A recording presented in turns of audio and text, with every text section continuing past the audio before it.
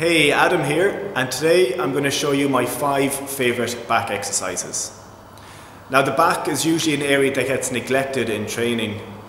Too often the shoulders, chest, biceps and abs are the main focus, usually at the expense of training the back.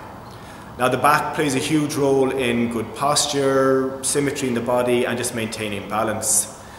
You've probably noticed that a lot of people are sitting at a desk or sitting on their phone most of the day, and this has led to really rounded sort of posture. So bringing a bit more back training into your program can be one of the steps in addressing posture. So I'm going to show you my five favorite back exercises to help you build a strong and healthy back.